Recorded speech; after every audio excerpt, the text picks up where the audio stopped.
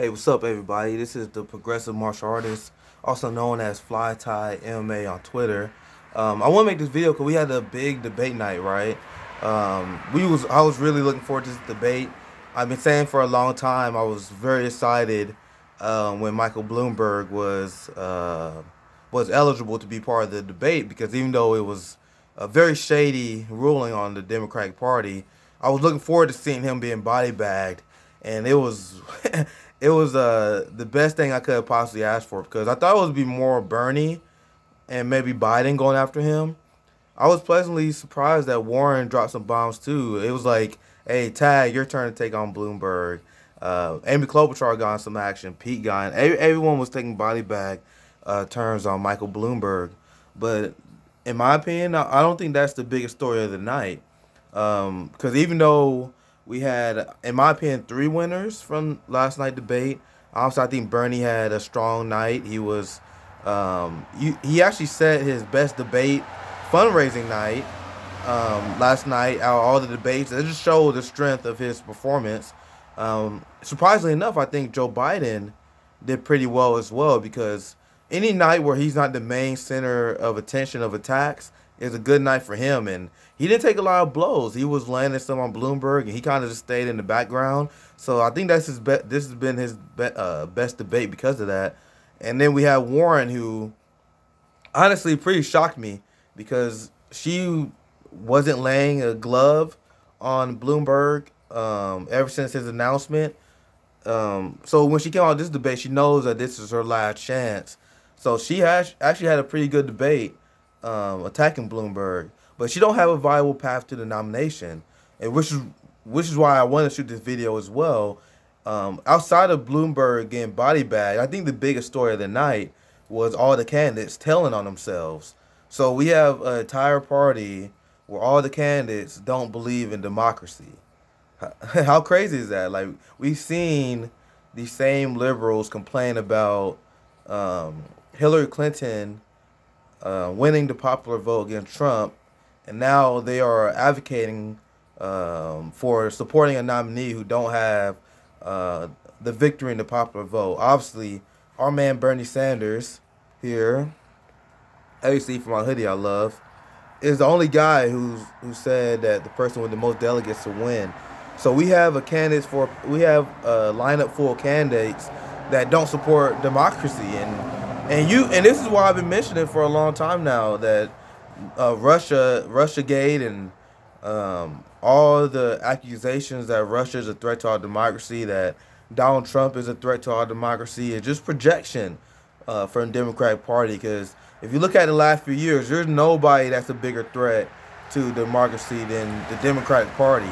You have the DCCC, who has essentially blacklisted any progressive um, primary opponent, actually any primary opponent, but they made uh, some exceptions if you're pro uh, establishment. So you had a D triple C, uh, D triple C who was who banning primary opponents. You have Democratic candidates that said we should nominate someone who don't have the most pledged delegates, which answers the question on why a lot of these people are staying in. You have Warren, who don't have a real path to nomination, staying in because she won uh, a, a contested convention. They want to achieve power. They don't care how they do it. They don't care about the will of the voters. And this was a big.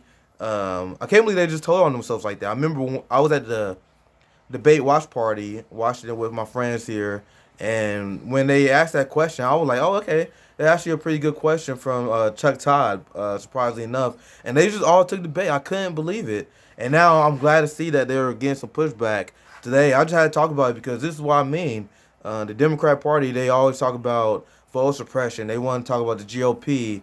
They want to blame Russia, but they have their own problems. You saw what they did in 2016. You saw what they did in the Iowa caucus. You see what they plan to do in the Nevada uh, caucuses when they're not, they might not even release the, the totals the same day. So it's just constant pathological behavior from the Democratic Party where they believe they can overwrite democracy as they see fit.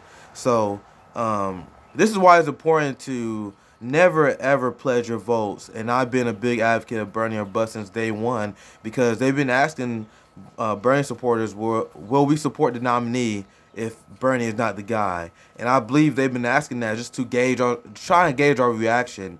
And earlier last year, you had a lot of people. Honestly, I don't blame them. Like I don't believe in voter shaming. I think you should vote your conscience. But you had a lot of Bernie supporters that said they will vote the nominee even Bernie wins. And they were saying that last year, and now I think the party got the data they was looking for, and now they have the um, they feel emboldened to uh, cheat Sanders. But um, the good thing is we are super hyper aware, and I think if they do anything like that, it'd be the death of the Democratic Party.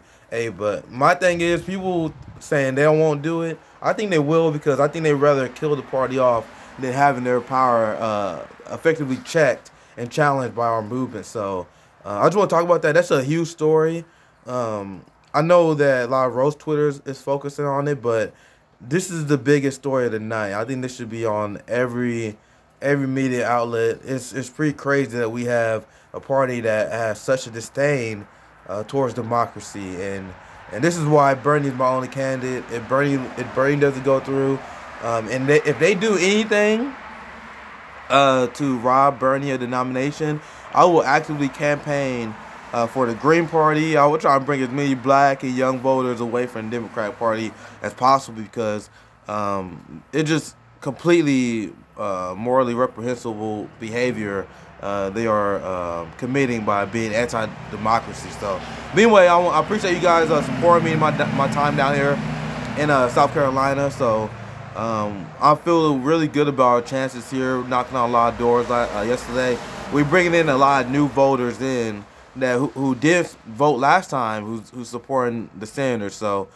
I'm gonna keep working hard, and we're gonna keep doing our thing, even though the Democratic Party is anti-democracy. Take care, guys.